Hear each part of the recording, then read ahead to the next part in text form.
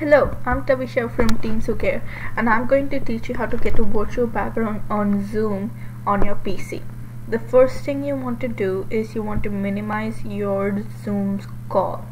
So you see this button on the side that says minimize so you want to click that and you should be here on your desktop when you minimize so you see Google Chrome on the side so you want to double click that or you can search it in the search bar and you get to Google Chrome which is over here. The first thing you want to do when you are on Google is search up the image that you want to have as your virtual background. So mine is wave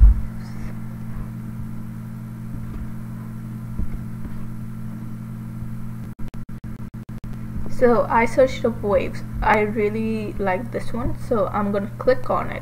And then it comes here to the right. Let me just move this. Yeah so it comes here to the right. So when it is here on your right you want to right click and you see a couple of options and you want to click save image as. So when you do that your file should open up. When you are on your files you want to make sure you're on the downloads page it should say downloads on the side with a blue arrow. So I'm gonna click that. And if it's gray then you are already there.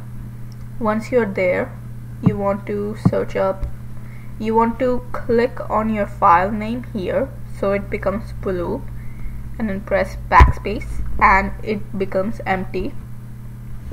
And you want to type the name of this image. So mine was waves so I'm gonna say wave okay? And then if you click save it saves it to your laptop. Now what you want to do is if you see the small icon on the side you want to click this exit minimized video.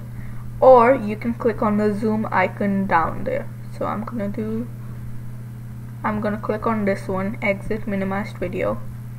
And here we are the first thing you want to do here is you want to go to this caret symbol right next to stop video or if you have your video off it should say start video. So you want to click the caret there and gives you this box of options. So you want to click choose virtual background. Once you are there you see this. So I already have two of them saved as you can see. This one then I have this one. But you guys will probably just have none. So what you want to do is you want to go to this plus sign on a box on the side and click on it and you get two options. So you want to click add image. Now once you click add image you come to this. Or you could be on 3d objects or desktop. You want to go to downloads where you had your image saved downloads and then once you have that image saved here so remember I saved wave so I'm gonna click wave and then you click open. And voila there's your background. Mine is this really beautiful wave on the background. And you want to make sure your zoom is updated so it comes clearly if it is not updated. Check out our YouTube channel for teens who care. And there is a video on there on how to update your zoom.